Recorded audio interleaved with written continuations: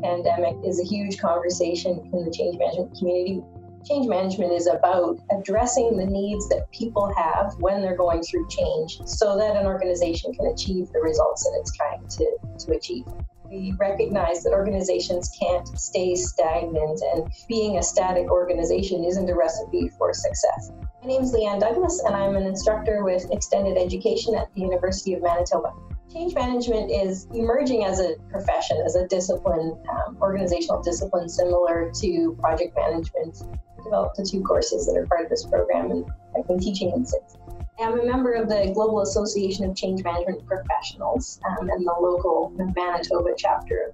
I recommend change management and understanding change management for absolutely everybody who works in an organization more than two people.